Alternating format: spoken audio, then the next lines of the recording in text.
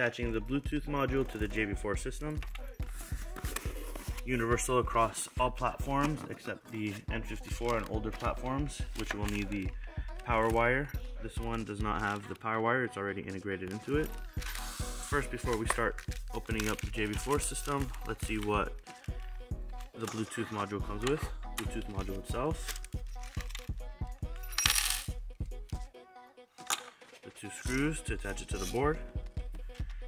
And the Allen key to open the JB4 system. Let's pull the JB4 system out. Use the provided two and a half millimeter Allen to open up the case screws. I'll be using this T-handle just to make this quicker for the video.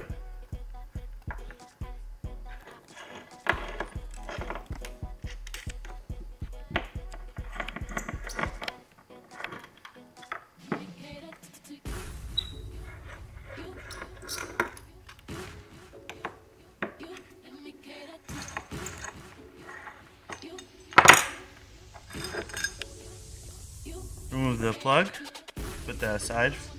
Now we'll attach the Bluetooth system into the JB4.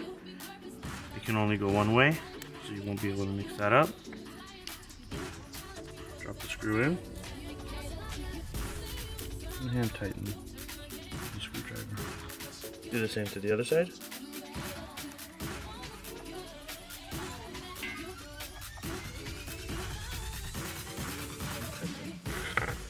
Now we'll place the system back. This is the very important part. We have two different boards. We have the slim board and we have the fatter board. Both of the boards will sit in the same spot. When connected, we want to put the board and make sure it's completely flat. When you feel that it's completely flat, you can put the other half of the case on. Now, people always smash the board. What I always say is to make sure that you're able to fully close the system and then that's when you know that everything is correct.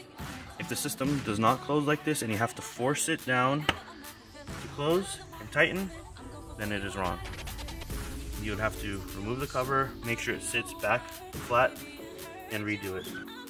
Doesn't need to be crazy tight, you can feel the O-ring squish. Once it squishes, you are pretty much good to go.